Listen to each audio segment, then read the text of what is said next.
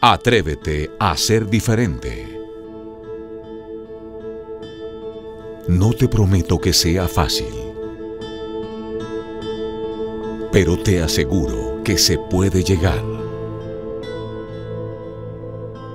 Aunque muchos lo quieren, pocos son los que se arriesgan.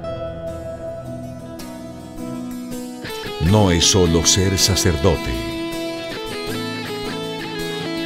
es vivir el verdadero carisma.